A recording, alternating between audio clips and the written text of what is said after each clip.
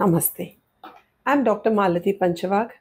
I'm an anesthesiologist and a perioperative physician here at the MVD Center in Pune. In today's educational video, we will be talking about the meaning of trigeminal neuralgia. What exactly is this disorder? Which is the nerve that causes this disorder? And what are the symptoms of this disease? So that any patient who's suffering from different kinds of pain in the face should be able to come to some kind of conclusion on what their disease is. Now let us look at some of the common causes of trigeminal neuralgia.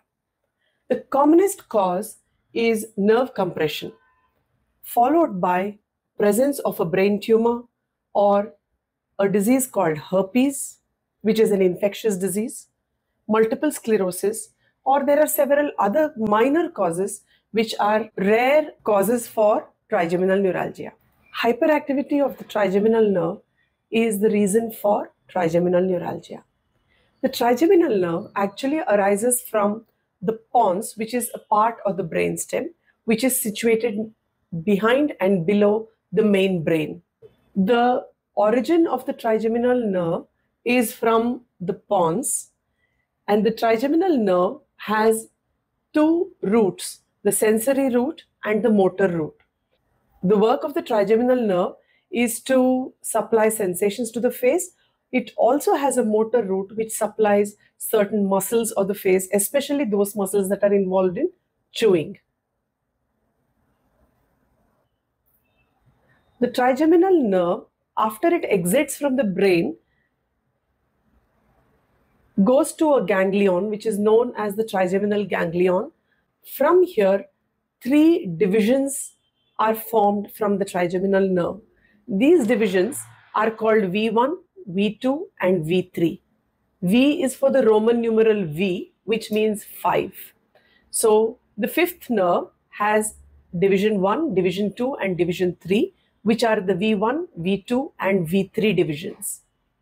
The V1 division is called the ophthalmic division because it supplies the forehead and part of the nose as well as the eye. The V2 division supplies the upper part of the cheek area and also part of the lower part of the eye as well as some bits of the nose and the upper lip. The V2 division is also called the maxillary division. The V3 division is the mandibular division and this supplies the lower part of the jaw as well as the lower lip and chin. Trigeminal neuralgia frequently affects people who are more than 50 years of age and it is more common in women than in men.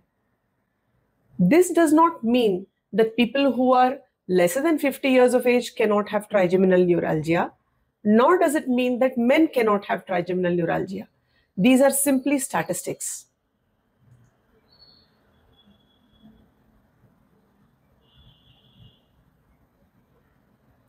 Trigeminal neuralgia is the most common cause of facial pain. And of course, there are other facial pain syndromes which could mimic trigeminal neuralgia. The most important feature of trigeminal neuralgia is that the pain is exceptionally severe. Many people call it suicidal pain. Though the condition is not life threatening, the intensity of the pain is so much that the patient is not able to lead a normal life. Trigeminal neuralgia is treated by neurologists and neurosurgeons.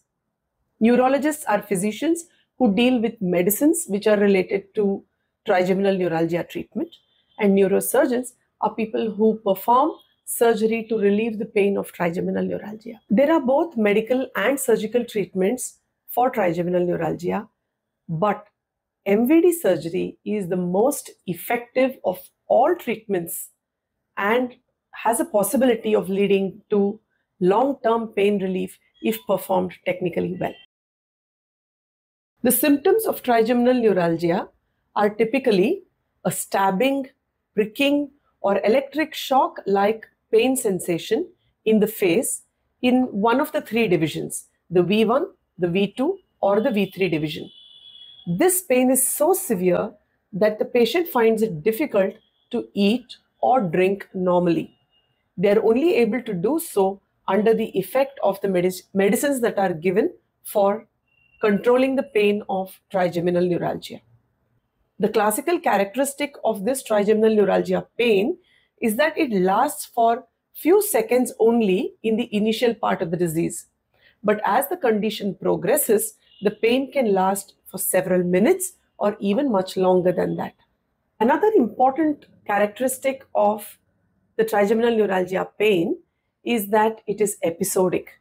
That means it comes in attacks. The pain is sharp, intense, a stabbing pain is present in the cheek or in the jaw, or sometimes even deep in the eye, and the patient may feel this like an electric shock being given to the face. Some patients also complain of pain deep in the ear. When we say that the trigeminal neuralgia pain is episodic, that means there are attacks of pain. This also means that there are periods of pain relief between two episodes of pain attack. A very important observation in these patients is that they also suffer from anxiety. Anxiety from the thought of when the next pain attack is going to occur. The pain attacks are triggered by touching the face or the teeth in terms of activities like shaving, applying makeup, brushing the teeth, touching a tooth or a lip with the tongue, touching the tongue to the hard palate or the soft palate, eating, drinking, talking, or even a light breeze like that of a ceiling fan or the breeze that touches your face when you're on a two wheeler or when you're going in a vehicle, or even splashing water on the face or wiping the face with a towel or a handkerchief. We asked some of our patients to describe how they felt this pain. And the surprising thing was that many of them said that this pain was the severest pain that they have experienced in their life. Some women said this was even similar to the pain of giving birth to a child. Some describe this as that of the pain that one experiences during a heart attack or while passing a kidney stone. Some of them express this as like there were thousands of needle pricks on the face at the same time. Some said it was like applying chili powder to the face, and the kind of burning that is produced at that time is similar to the pain that is there in trigeminal neuralgia. One patient went to say it was like applying a 240 volt electrical connection to the face. So, where exactly does the pain occur? The areas of the face that is supplied by the trigeminal nerve, like the cheek, jaw, teeth, gums, or lips, are affected by the trigeminal neuralgia pain. Less often, the eye and forehead may also be affected. So, the V1 division is the least commonly affected amongst the three divisions of the trigeminal nerve. The most important characteristic of neuralgia is that it affects only one side of the face, either the right or the left. And more often than not, the pain is generally focused in any one spot initially. But as the disease progresses, the pain may be spread in a slightly wider pattern and the exact location is difficult to pinpoint because it's sort of a dispersed kind of pain area.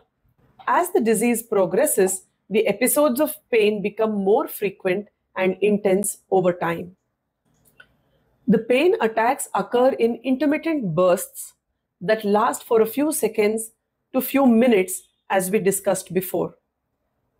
But as the disease progresses, the attacks of pain become more and more frequent and the intensity of the pain also increases. And when the disease is well progressed, the pain is nearly almost continuous because the attacks are so frequent and so intense. A very important feature of trigeminal neuralgia is there are times when there are pain holidays, which means that if you take the entire disease over a period of a year, there are flare ups and then there are pain holidays. So, what are these flare ups? The flare ups are periods of the year when the pain attacks appear frequently and with greater intensity. These flare ups continue for a few weeks or few months, and this is followed by a pain-free period, which we call a pain holiday, and the pain holiday can last for several weeks or months or even up to a year. So much so that the patient feels that their trigeminal neuralgia has been cured completely. Although the trigeminal neuralgia pain may seem to disappear, it always comes back, often with greater intensity than before. There is a condition known as atypical trigeminal neuralgia. In this condition, instead of sharp stabbing pain, the facial pain that the patient experiences is like a persisting dull ache. There are, of course, several other versions which are also classified as atypical trigeminal neuralgia. If you liked the content of this video and you found it useful, do remember to hit the like button and share and subscribe the channel please. If you liked the content of this video, please write to us and let us know what you feel. Let us know what other videos you would like us to make. This helps us to plan topics that are of use to the patients who suffer from this disease. Thank you and best of health to you.